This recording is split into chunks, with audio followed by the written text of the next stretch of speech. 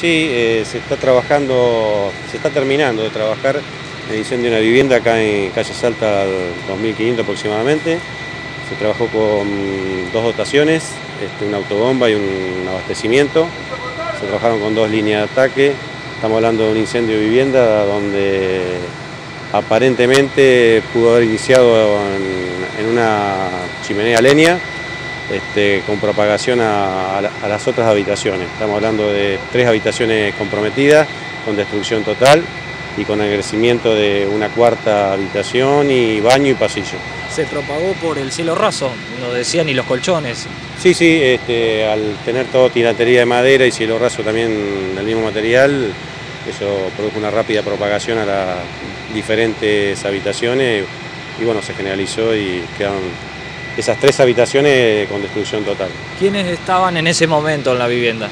Eh, por comentarios acá de los vecinos y del propietario que se hizo presente luego, estaba la mamá con los hijos, que gracias a Dios no hubo lesionados este, en ese sentido, solamente daños materiales. ¿No te preocupaba en el lugar que había garrafas?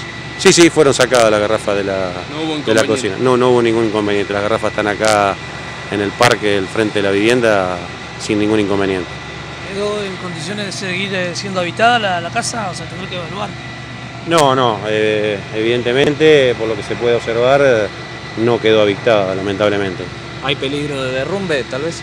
No, no, no, habría que terminar bien, eh, que se termine bien el trabajo nuestro, hacer una buena ventilación, iluminar, iluminar un poco el interior y poder hacer una mejor observación y ahí poder recién evaluar si, si hay algún riesgo de derrumbe aparentemente no, no, no está esa posibilidad. Digamos que para volver a habitarla hoy en día no se podría, se tendría que realizar un trabajo de varios días, por así. Sí, sí, obviamente hay que hacer una buena limpieza, este, extraer todo lo material combustible que ha quedado deshecho acá y, bueno, volver a armar todo.